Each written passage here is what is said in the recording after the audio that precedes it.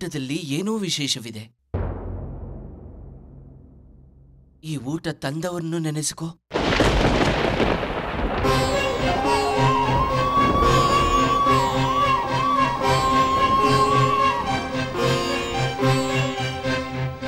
ಆಕೆಯಲ್ಲಿ ಏನೋ ದಿವ್ಯ ಶಕ್ತಿ ಇದೆ ಎನ್ನಿಸುತ್ತಿದೆ. ನಿಮಗೆ ಹಾಗನ್ನಿಸಲಿಲ್ಲವೇ? ಹೌದಪ್ಪ. ಆಕೆ ತುಂಬಾ ಗೌರವವಾದ ಗೃಹಿಣಿಯಂತೆ ಕಂಡ್ರು.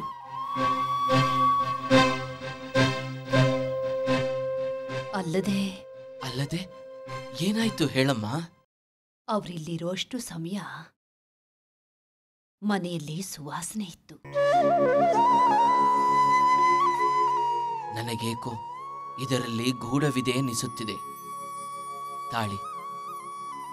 ಊಟದ ನಂತರ ಇದೇನೆಂದು ತಿಳಿಯುತ್ತೇನೆ.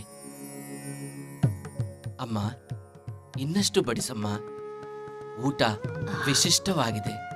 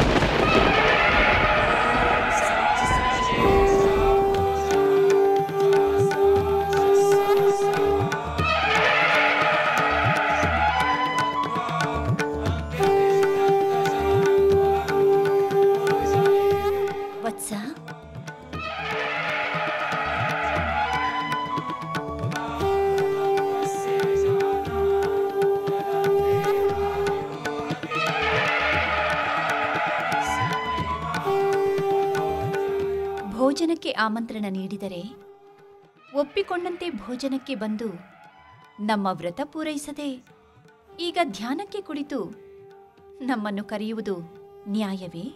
ತಾಯಿ, ತಾವು ಯಾರು ಎಂದು ತಿಳಿಯಲಿಲ್ಲ. ದೇವತೆಯೋ, ಗಂಧರ್ವರೋ, ಋಷಿಪತ್ನಿಯೋ,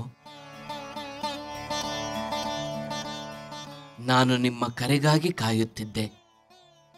ಆದರೆ ನೀವೇ ಅಲ್ಲಿರಲಿಲ್ಲ?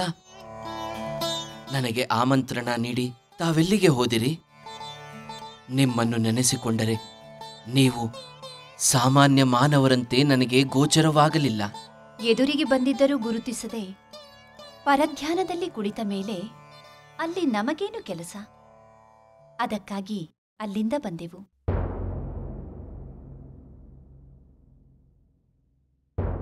ತಾವ್ಯಾರು ತಾಯಿ?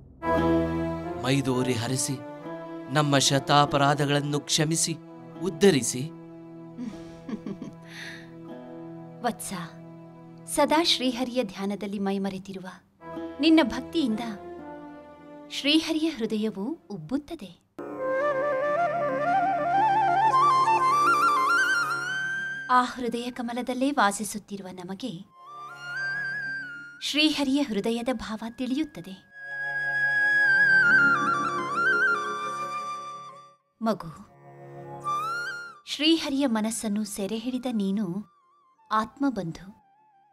ನಿನ್ನ ಧ್ಯಾನವನ್ನು ಶ್ರೀಹರಿ ಮೆಚ್ಚಿದ್ದಾನೆ, ಸ್ವೀಕರಿಸಿದ್ದಾನೆ ಎಂದ ಮೇಲೆ ತಪ್ಪಿನ ಮಾತು ಎಲ್ಲಿಯದು ತಾಯಿ, ನಿನ್ನ ನಿಜರೂಪ ತೋರಿ, ಕರುಣೆ ತೋರಿಸಮ್ಮ.